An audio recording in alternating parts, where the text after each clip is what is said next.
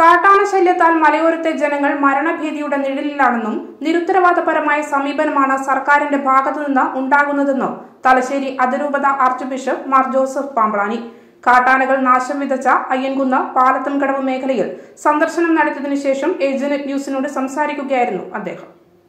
അയ്യൻകുന്ന് ഗ്രാമപഞ്ചായത്തിലെ രണ്ടാം വാർഡിൽ നമ്മുടെ പാലത്തുംകടവ് മേഖലയിൽ കാട്ടാനശല്യം രൂക്ഷമായി വരികയാണ് വരുന്നതിന്റെ അടിസ്ഥാനത്തിൽ ഇന്ന് ഇവിടെ തലശ്ശേരി അതിരൂപത ആർച്ച് ബിഷപ്പ് ജോസഫ് പാമ്പ്ളാനി പിതാവ് ഇവിടെ വന്ന് ഇവിടുത്തെ ഇവിടുത്തെ ജനങ്ങളോട് അവരുടെ വിഷമങ്ങളും കഷ്ടപ്പാടുകളൊക്കെ അന്വേഷിച്ചു.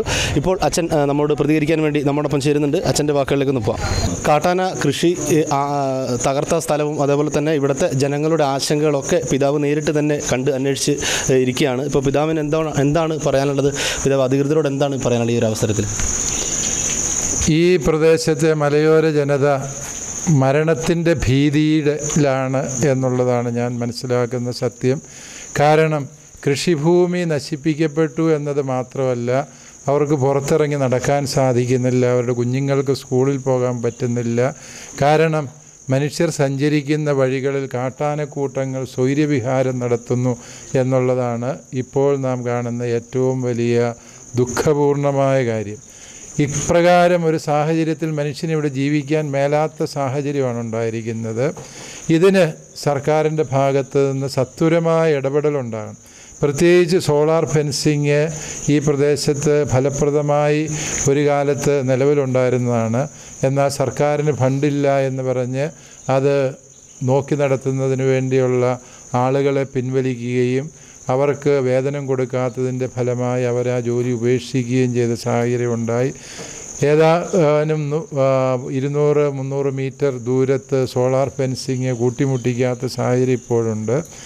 അത് നന്നാക്കിയെടുക്കാനും സർക്കാരിന് ഫണ്ടില്ല എന്ന കാരണം പറഞ്ഞ് ഒരു ജനതയെ ഒന്നാകെ മരണത്തിന്റെ വക്ത്രത്തിലേക്ക് എറിഞ്ഞു കൊടുക്കുന്ന നിരുത്തരവാദപരമായ സമീപനമാണ് സർക്കാരിന്റെ ഭാഗത്തു നിന്നുണ്ടാകുന്നത് എന്ന് പറയാതെ നിവൃത്തിയില്ല. ഈ വിഷയങ്ങളൊക്കെയും വനം വകുപ്പ് മന്ത്രിയുടെ ശ്രദ്ധയിൽ ഞങ്ങൾ പലവട്ടം ഉൾപ്പെടുത്തിയിരുന്നതാണ്.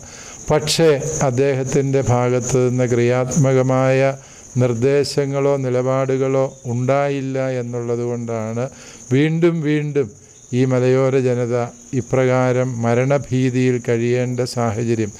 ഒരു പ്രദേശത്ത് മാത്രമല്ല ഇപ്പോൾ മലയോരം മുഴുവനും വ്യാപകമായി ഈ ഒരു മരണഭീതിയിൽ കഴിയേണ്ട അവസ്ഥ സംജാതമായിരിക്കുന്നു.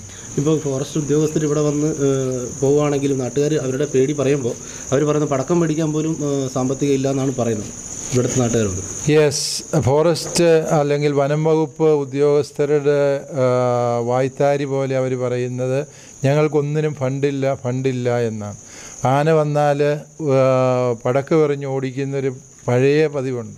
അതിന് പടക്കം മേടിക്കാൻ പോലും നിവൃത്തിയില്ല എന്ന് ഫോറസ്റ്റ് ഉദ്യോഗസ്ഥർ പറയുമ്പോൾ ഈ ജനത എവിടെയാണ് അവരുടെ ആവശ്യങ്ങളും ആകുലതകളും ഉന്നയിക്കേണ്ടത് എന്നുകൂടി ബന്ധപ്പെട്ട ഉദ്യോഗസ്ഥരും സർക്കാരും ഈ ജനത്തോട് മറുപടി പറയേണ്ട വിഷയമാണ്.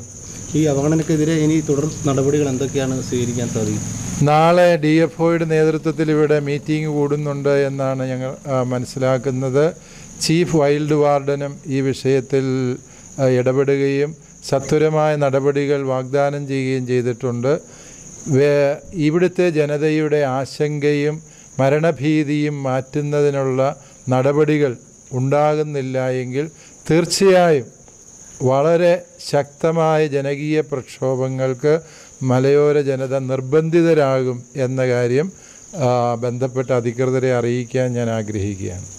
അപ്പോൾ നാളെ ഇവിടെ ഫോറസ്റ്റ് ഉദ്യോഗസ്ഥർ ഉൾപ്പെടെ ഇവിടുത്തെ ഉൾപ്പെടെ ഒരു യോഗം ചേരാൻ തീരുമാനിച്ചിട്ടുണ്ട്. ഇപ്പോൾ പിതാവ് വന്ന് ഇതിന്റെ ഇവരുടെ കഷ്ടപ്പാടുകളൊക്കെ ഇവരുടെ ദുരിതമൊക്കെ പിതാവ് നോക്കി പിതാവ് നോക്കിക്കണ്ടു അപ്പോൾ പിതാവിന്റെ ഭാഗത്തു നിന്നും ഒരുപാട് ഉന്നത അധികാരികളിലേക്ക് ഇതിന്റെ ഈ പ്രശ്നങ്ങൾ അതിവേഗം ഇത് പരിഹരിക്കാനുള്ള ഈ മലയോര മേഖല ഒന്നടങ്കം കാട്ടാന ശല്യം വന്യമൃഗശല്യം രൂക്ഷമായിക്കൊണ്ടിരിക്കുകയാണ്.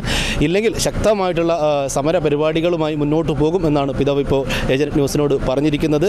അപ്പോൾ ഇവിടുത്തെ നാട്ടുകാരുടെ ആശങ്ക ഉടനടി മാറും എന്നുള്ള പ്രതീക്ഷയിൽ ക്യാമറമാൻ ഷിജോ അബ്രഹാമിനൊപ്പം പാലത്തുകടവിൽ നിന്നും ശ്രീവേഷ്കർ ഏജന്റ് ന്യൂസ്.